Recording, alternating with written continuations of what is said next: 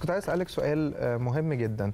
هل شايفة فعلا إن البنت الجميلة يعني سوري غبية أو أقل ذكاء من شكراً البنت أوي. ال- بص لأن ده حاجة شائعة ده مش رأيي أنا دي حاجة شائعة بتتقال دايما فعلا. البنات الجميلة جدا بيبقوا أغبياء وبيبقوا اير هيد أو اللي هو دماغهم في في الكنافه في الهوا. بص يا آه. عمرو أنا هجاوبك على السؤال وفكروني إن حابه أعلق على كلام رندا لأنه مهم جدا اللي قالته آه، بخصوص بقى سوء الحظ. يعني الجزء ده ليه هي سيئة الحظ الجميلة.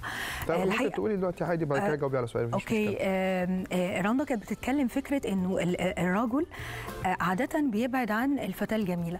أنا عايزة أقول بقى كمان أحدد أكتر الرجل مين يعني ال- الرجال اللي هم الغير جيدين آه. والغير متزنين. مش واثقين في نفسهم. بالظبط. آه لا هم دول في الأكتر اللي بيقربوا العكس هم دول اللي بيحاولوا يقربوا للفتاة الجميلة. لكن الرجل ليه؟ الجيد إيه؟ أنا بحب الفتيات الجميلات إيه؟ أنا واثق في نفسي جدا وواثق في نفسي إن أنا مش خايف إنه يتقال إن أنا معايا واحدة جميلة أو مش خايف حد يخطفها مني أو مش خايف إن هي تبص بره آه، مش خايف امشي معاها في الشارع ما أعرفش أحميها. فده معناه إن أنا ده, واثق ده شيء كويس جدا وده. بيدل إن أنت عملت إيه بعد كده؟ مهم إيه؟ خلاص مش لازم نتكلم في الموضوع ده. ده شيء جميل جدا يحسب لك. لكن في العادي في العادي الرجال الجيدين المتزنين بيحاولوا يبعدوا عن الفتاة الجميلة. ليه بقى؟ لأنه زي ما رندا كانت بتقول إنه هي حواليها رجال كتير جدا حواليها معجبين كتير قوي فهو مش عاوز يدخل في السباق ده أو مش عاوز يدخل في القصة دي. مش مش مش جيد ولا رزين هو هو خايف. آه بص طبعاً بص بيخاف. هو هو لا. هو هو متزن إلى حد. ما. هو مش مش شرط عدم ثقة أو حاجة. هو حد عاوز يرتبط تمام؟ فهو بيحسبها بالعقل. أكتر. أنا مبسوط مش متضايق. من الاختلاف؟ آه الاختلاف في الرأي لا يفسد للود عادي القضية. متفقين في الآخر. آه، هو. الرجل ال- المتزن عادة يعني آه، بيفكر إن هو هيرتبط بفتاة فالأغلب إن هي تكون فتاة عادية.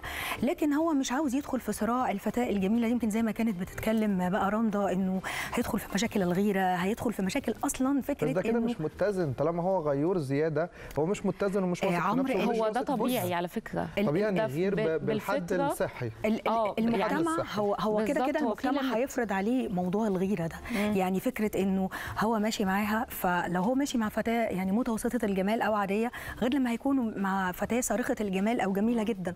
لأنه على فكرة برضو خلينا نتكلم في حاجة. يعني هو ال- الشكل الخارجي ده آه، حاجة كويسة جدا. بس اللي بيبقى هو الجمال الداخلي. بحيث إنه أنت أنت ممكن ترتبط بواحدة شهر اتنين تلاتة أو تتجوزوا حتى. فأنت خلاص بقيت ماشي معاها في الشارع. أنت مش ملاحظ الجمال اللي الناس ملاحظاه. أيوة. لأن أنت خلاص اتعودت عليه. ما هو يعني برضو إحنا عايزين نقول إنه الشكل على فكرة تعود. والشكل هو عبارة عن بوابة. الأهم من ده كتير جدا هو الجمال الداخلي. لكن الفكرة بقى إنه الشكل الخارجي بيفرض قيود أو بيعمل نوع من أنواع سوء الحظ. آه بيعمل أنواع من أنواع سوء الحظ.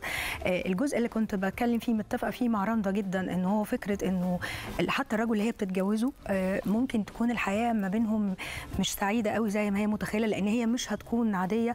لأن هو في أوقات كتير حاسس طول الوقت إنه آه، إلا يعني لو هو برضو راجل مش متزن إنه هي أحسن منه أو أعلى منه عندها علاقات أكتر بالظبط. ناس كتير بتبص لها فهو طول الوقت برضه هيكون عنده صراع إن هو عاوز يرضيها. إن هو يكون الأفضل في عينيها. ده جزء. جزء تاني بقى اللي كنت بتتكلم فيه يا عمرو فكرة إنه هي بتتهم بالغباء. الحقيقة أنا وأنا داخلة أنا ورندا أصلا كنا بنتكلم في الموضوع ده إنه إحنا بجد في المجتمع الفتاة فعلا الجميلة عندها معاناة ده بدل مش ما عندنا هنا بس ده في العالم كله. يعني دايما بيقولوا مثلا البلوند أو الشقرة هي الأغبى في التاريخ. آه. بس. أنا آسف إن نرمين والله خلاص بس هقول لك. حاجة. يمكن لا هم كمان عارف. بيقولوا إيه؟ بيقولوا البنت لما تبقى حلوة قوي فعلا و- ويعني برضو بيبقى في الثقافات الغربية نلاقيهم برضو باردين بيبقوا يعني بص يا- انت بتوصميهم اهو. أيوه أيوه بس أنا هي بس مشاعر على فكرة. أيوة. ده وفقا ده سببه البيئة. البيئة اللي الست بتعيش فيها كل بيها. آه بالظبط كده. كل دولة ملهاش بتأثر علاقة على عواطف آه. البني آدم. وملهاش إحنا علاقة في مصر. عندنا ال attitude بتاعنا كلنا hyper بالظبط كده إحنا ولاد بلد قوي على. جدا آه ولاد بلد جدا. حتى حتى مشكلتنا عندنا. لما بنعالج القسم القسم النفسي دايما أغلبيته هو إدارة الانفعالات إدارة الغضب. هو على طول سخن على طول عايز ياخد آه، رد فعل. في نفس الوقت واللحظة بدون أي تفكير. فده طبقا لمجتمعنا إحنا الشرقي الشرقيين أو المصريين أو العرب عموما. عكس الدول الأوروبية تماما بيمتازوا بالبرود حتى المشاعر وأي مواقف صادمة وحوادث بياخدوها بشكل لين قوي وهادي وتحس إن هم بيسبقوا المنطق الأول رقم واحد والعقل. تاني حاجة هي المشاعر أو العاطفة. بيمسكوا العقل زي ما بنقول بالبلد. إحنا هنا ما. بنمسكش العقل لا لا. إحنا هنا بنمسك على طول على بعض. out of control في كل شيء يعني. هرجع بقى لقصة ال- الغباء دي. الحقيقة دي بتشكل مشكلة كبيرة جدا لأن هي بتحس إنه هي عليها إن تثبت طول الوقت إنه أنا مش غبية. فزي ما أنت قلت مثال كده إن هو انه أوقات بتحس إنه جمالها ده مش نعمه لأ ده نقمة. فأنا هبتدي إن أنا أقول إن آه أسترجل شوية أتعامل بطريقة. كده. آه، فالحقيقة يعني مشكلتنا بحس في القصة دي إيه؟ بص هي مشكلة ثقافة بالأساس ووعي. إنه فكرة كمان عارفة نرمين القوة الناعمة أو المسلسلات والدراما هي برضو حصرت المرأة الجميلة في ده. أو صح. إحنا كمان في مجتمعنا يعني هقول لك أوقات أنا في الدراسات يمكن وإحنا بنعمل دراسات ليه المراه بتعزف أو بتبعد الفتاة الجميلة عن المشاركة مثلا في المجال السياسي أو في المجال الثقافي. لأنه القوه الناعمة صورت إنه السياسية دي أو المثقفة أو الكاتبة دي ليها prototype معين أو شكل معين بتلبس نظارة بطريقة معينة بتتكلم. آه، بالظبط. ولسه. الصورة دي لغاية دلوقتي بيتم تصويرها برضو في القوه الناعمة.